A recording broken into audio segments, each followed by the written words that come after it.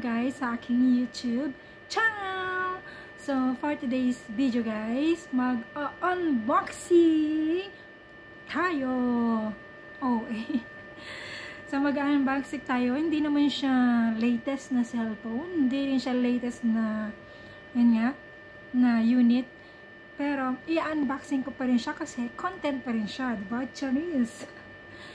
So, mag-unbox tayo ng Huawei cellphone. It's a Huawei Ayan. Y7. Lumang-luma na siya kasi 2018 pa siya lang. 2018 pa lang siya. 2018 na pa siya. bulol na po bulol. So, Y7. Yan. Prime. 2018. Huawei. So, bali hindi ko siya talaga binili. It's installment. So, bumili lang ako siya. Nag-install lang ako para kay alam nyo na yan guys, sa mga yan, sa mga ka-GC natin.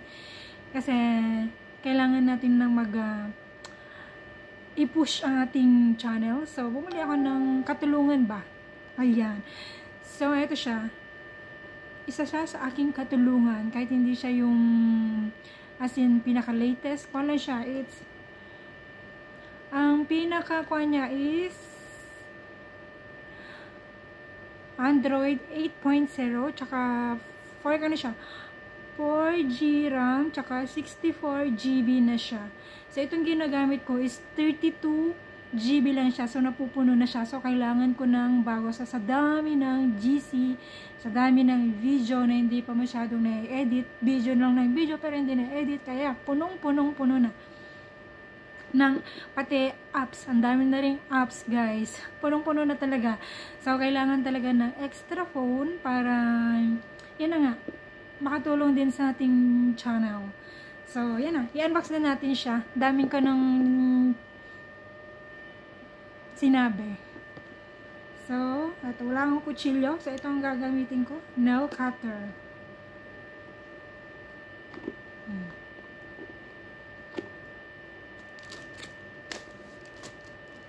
Hindi ko lang alam guys kung totoo yung chika minute na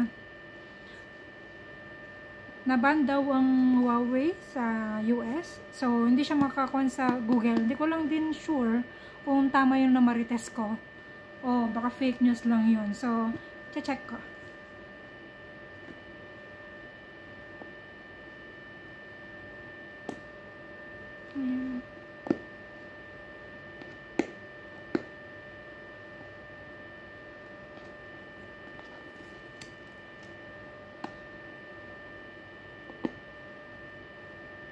So, 64 na yung, 64 GB na yung ROM niya, guys.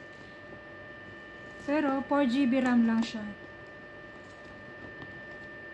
Marami na itong mag, nagsilabasan na, ano ba yun? Nagsilabasan na series ng Huawei.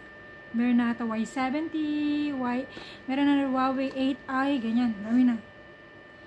So, tran! So, bagong-bago pa siya, naka-plastic. Yan.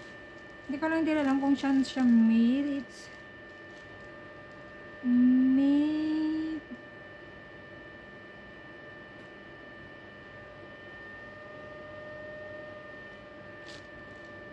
hmm, fairness ko na siya. Hmm. Ganda na. Maganda rin siya. Hindi ko lang alam kung ilan yung size niya.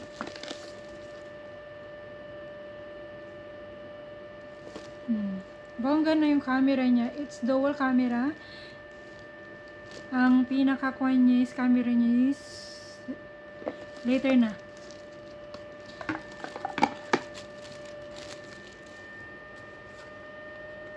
Siyempre, merong manual. May free ng, oy, may free case. Yan, rubber case.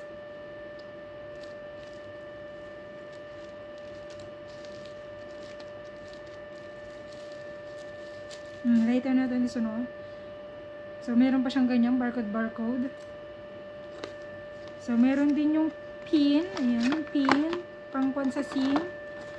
May free na rin siyang headphone. Headset. Pala. Of course, the charger. Ayan. Charger. Nakalagay talaga siya, Huawei. Hindi ko lang alam kung tama yung pronunciation ko. Huawei. Hua, Huawei. One ko. Huwe. Huwe. Huawei. Comment down below. I'm not sure. So, ito yung kanyang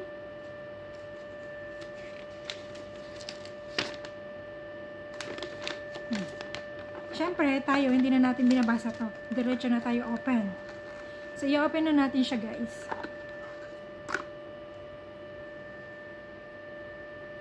Oh, check natin kung may battery.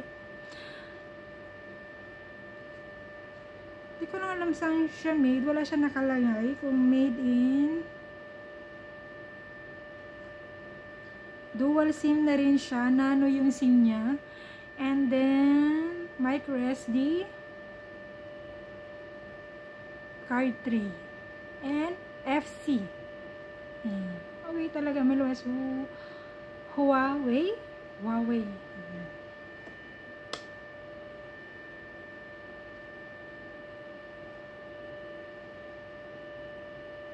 Made in China.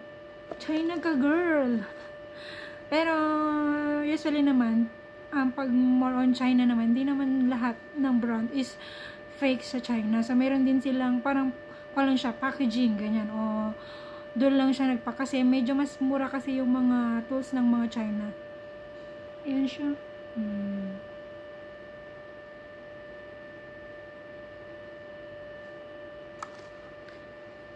Hmm, pang thumbnail. so, hindi ko pa natanggal. So, in English.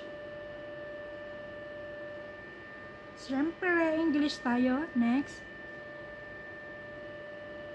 SIM card. Skip muna natin siya and user license agreement agree. I agree to end user license agreement? Oh end user license please read the end user license agreement before using your Huawei device. Using any Huawei device indicates you acknowledgement and agree to the terms of all conditions of this agreement. If you recently purchased a Huawei product and do not agree to the terms and conditions of this agreement, you may return your Huawei device to an official Huawei retailer or authorized seller for a refund provided that you abidely the terms of Huawei is returns policy. Ano daw, ano daw? English girl. Hindi ko maintindihan masyado. Ang haba. Tsaka hindi ko pa kasi tinanggal yung papel. Kaya, Ayan, hindi mo masyadong nakikita yun. Ayan, basahin nyo na lang yan. Dagri na lang natin.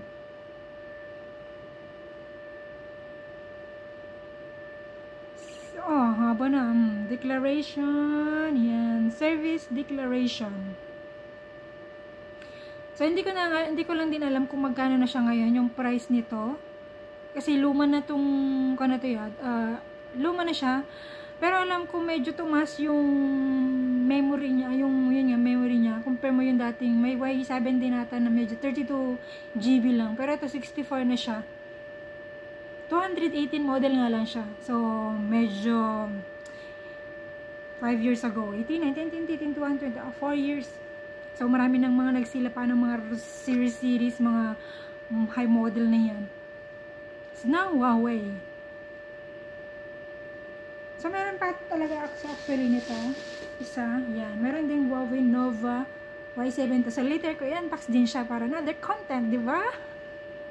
Sayang naman kung i, i, i, itotodo mo ng i-unbox. So, mahirap mag-content yan, lalo pag nandito lang tayo sa bahay. Lalo ako nandito lang sa bahay bilang isang kadama, isang nun, isang jaya lang dito sa Middle East, sa Kuwait. So, kailangan natin magtipid-tipid-tipid ng content. Ganun. So, next. Hindi ko na masyadong binasa. Next, next na lang. Dear customer, welcome to AMUI. In order to enhance her experience, we would like to invite you to join improvements while later. O, diba later? Pipindutin natin later. So, Wi-Fi services, Wi-Fi automatically Wi-Fi spot and make intelligence. Agree. Agree to all.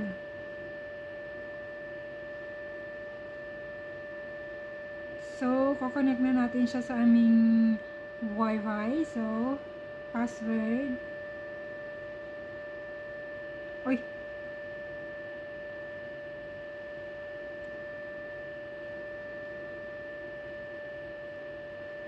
Connect. So, yan na siya guys. Connected na. Ayan, hindi ko pa tinanggal talaga yung plastic. Later ko natanggalin yung plastic. So, next. Yan na. Uh, checking up update. Yan. Later ko natanggalin yung itong screen niya kasi wala pa tayong, wala siyang free tampered. Wala siyang free. So, kailangan wag muna natin tanggalin para hindi siya magasgas agad.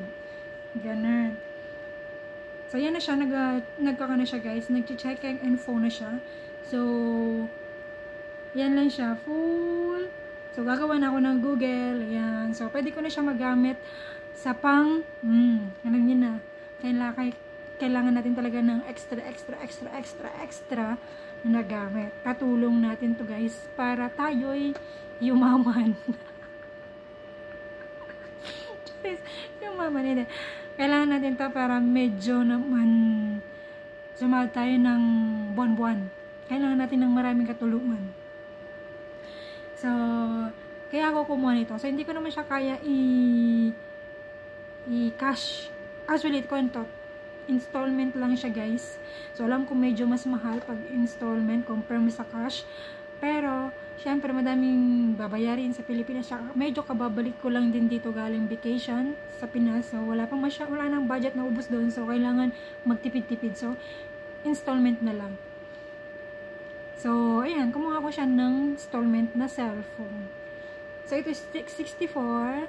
Tsaka yun yan kanina, yung Huawei Y70. Yun naman yung 128GB. So, yan na yung next letter natin na i-unbox. Diba? Gusto mo yun?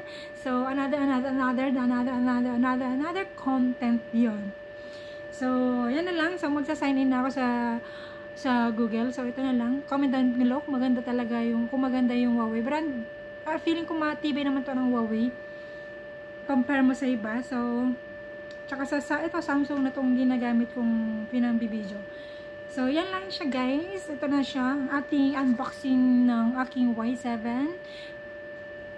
Huawei. So, please like, share, and subscribe to my YouTube channel, Jobs Guerrero. Para naman pahag-hag-hag tayo guys, para medyo umangat tayo lahat pare-pareha. So, that's it for today's video guys. Thanks for watching. Bye!